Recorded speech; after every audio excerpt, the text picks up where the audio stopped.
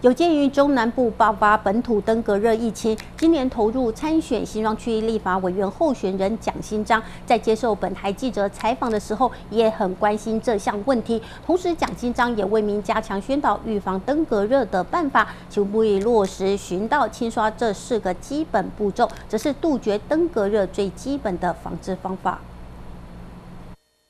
有鉴于南部爆发本土登革热疫情，参选新庄区立法委员候选人蒋进章在接受本台记者采访时候，也加强宣导并告知民众如何预防登革热最有效的方法。中南部地区最近登革热疫情非常严重，那在这边也要提醒我们新庄区的居民，登革热的步骤的话是有巡道清刷这四个步骤，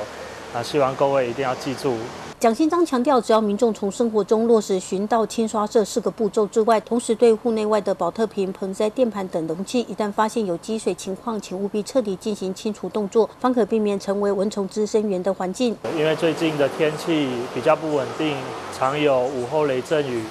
好，大家一定要把绿美化的盆栽都巡过一遍，看有没有积水。如果大家有发现积水容器，的部分有积水的话，一定要马上倒掉，